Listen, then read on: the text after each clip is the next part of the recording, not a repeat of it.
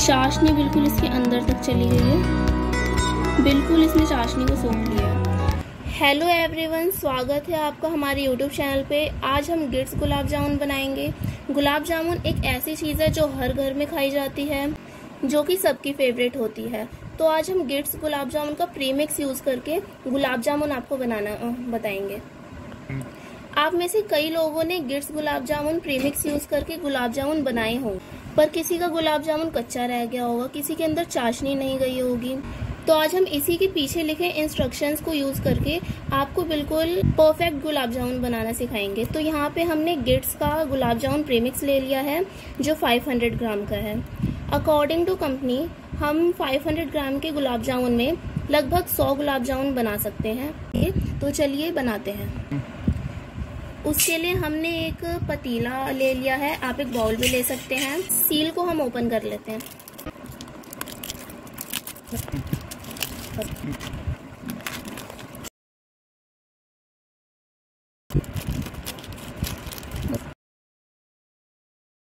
हमने अभी इसमें आधा प्रेमिक्स डाल लिया है और आधा हम रख ले रहे हैं। अगर आपको पूरा बनाना है तो आप पूरा भी बना सकते हैं। और इसमें कई जगह लम्ब्स हैं। तो फिर हमें इसके ना पहले लम्ब्स को बिल्कुल तोड़ लेना है। और हमने यहाँ पे एक बॉल मिल्क ले लिया है। इसमें अभी हम थोड़ा थोड़ा करके मिल्क डालेंगे, एक बार में ज़्यादा नहीं डाल देंगे। और इसका हमें ना ज़्यादा टाइट डो बनाना है। अगर हम इसका टाइट डो बना देंगे तो फिर जो गुलाब जामुन है, अंदर से कच्चे रह जाएँगे। उसके अंदर चाशनी अच्छे से नहीं घुस पाएगी। और मिल्क जो है, वो हमें ना ज़्यादा गर्म लेना है, ना ज़्यादा ठंडा लेना है। हमें एक बार जो है मिल्क को बॉईल कर लेना है। और उसे फिर रूम टेम्परेचर पे रखना है। हमने इसमें थोड़ा सा मिल्क डाल लिया है और हम इसे अच्छे से मिक्स कर लेंगे। हमने एक बॉल मिल्क लिया था, लेकिन वो दूध हमें कम पड़ गया था तो फिर इसमें हमने थोड़ा सा और मिल्क डालना है। देखिए, हमने इसे अच्छे से मिक्स कर लिया है और इसे हमने ना ज़्यादा लिक्विड रखा है और ना ज़्यादा टाइट करा है। अब हमें इसे 10 मिनट के लिए ढक के रेस्ट पे रख देना है। अगर हम इसे रेस्ट पे नहीं रखेंगे तो फिर जो गुलाब जामुन है, वो फट जाएँगे। पूरे दस मिनट हो गए हैं, अब हम इसे खोल के देखते हैं, इसकी क्या हालत है।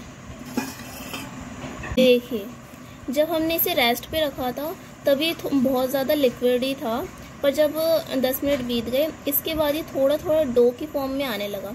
तो अब आप सोच रहे होंगे, हम इसे गोल कैसे करेंगे? तो ये गोल हो जाएगा, हमें हाथ पे पहले घी लगा लेना है।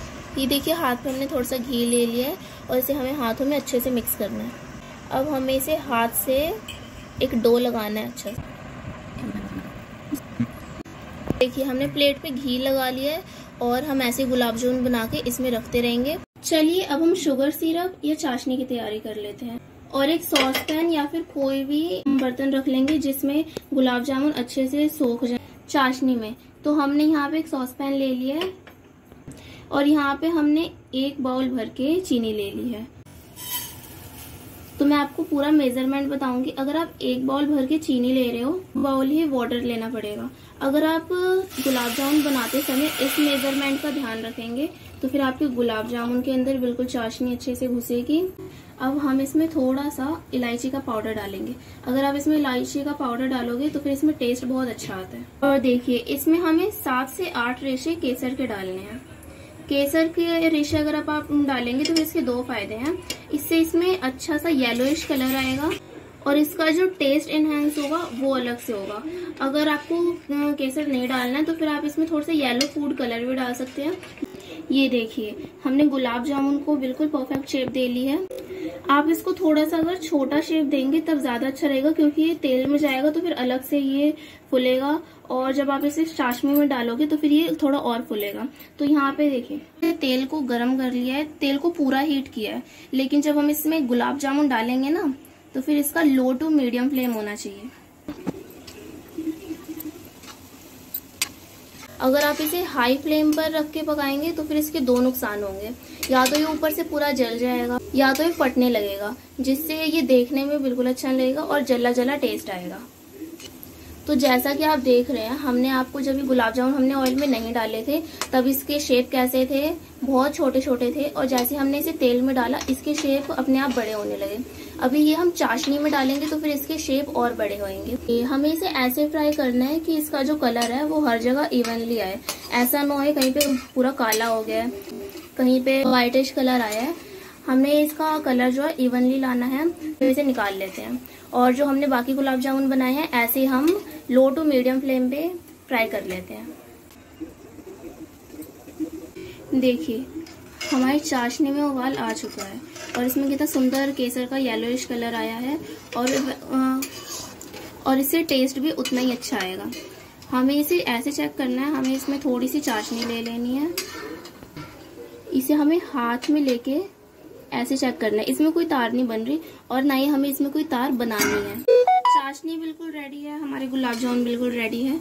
अब हमें चाशनी में गुलाब जामुन को एक एक करके डाल देना है।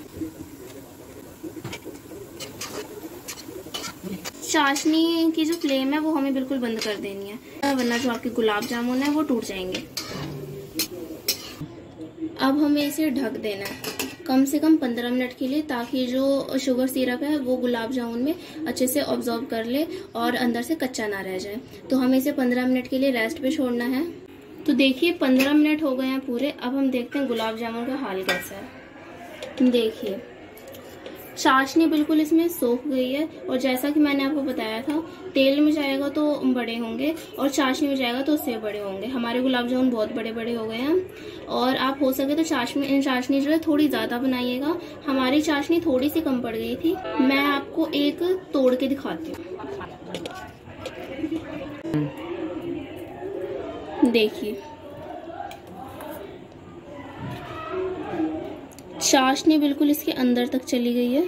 बिल्कुल इसने चाशनी को सोख लिया है। आप अगर इन सारी टिप्स को फॉलो करके ये गुलाब जामुन बनाएँगे प्री मिक्स का यूज़ करके तो फिर आपके ऐसी soft and spongy, sugar syrup बिल्कुल ऑब्ज़र्व करे हुए गुलाब जामुन बनेंगे। हमने इसे सर्विंग बाउल में निकाल लिया है। अब हम इसे बादाम से थोड़ा गार्निशिंग कर देते हैं। तो गुलाब जामुन है खाने के लिए रेडी आपको वीडियो अच्छी लगे तो चैनल को सब्सक्राइब और वीडियो को लाइक एंड शेयर करना ना भूलें। ऐसी और इंटरेस्टिंग वीडियोस के लिए। Thank you so much thank you for watching